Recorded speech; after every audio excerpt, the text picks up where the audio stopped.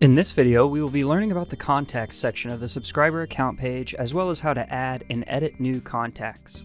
The contacts page holds email addresses, phone numbers, and names of all contacts for a subscriber. Each contact method can be categorized into primary, technical, billing, and more. On the contacts page, you will see all contacts listed for the subscriber. To delete a contact, click the red X next to their information. Default contacts cannot be deleted. To make changes, click the specific contact you wish to edit. Now make any necessary changes.